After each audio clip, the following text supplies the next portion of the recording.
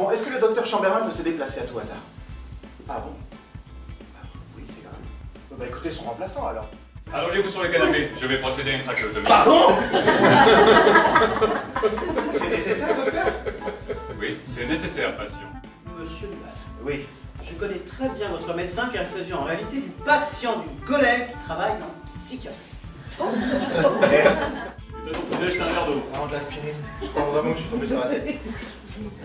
Bah t'es con, faut aller voir le tout bip si ça va pas.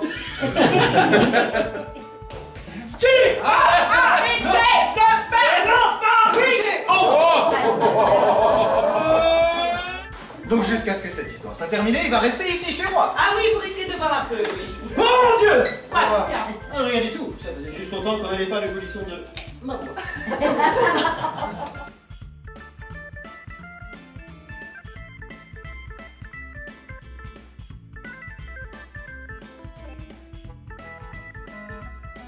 Dis-le plutôt, que faisais-tu avec cette fiole, toi Je vois pas de quoi vous voulez parler. Je m'appelle Non, aucune idée.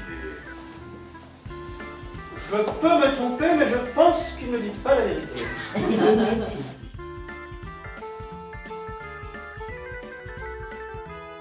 Mesdames et messieurs, je vais maintenant avoir besoin de votre avis.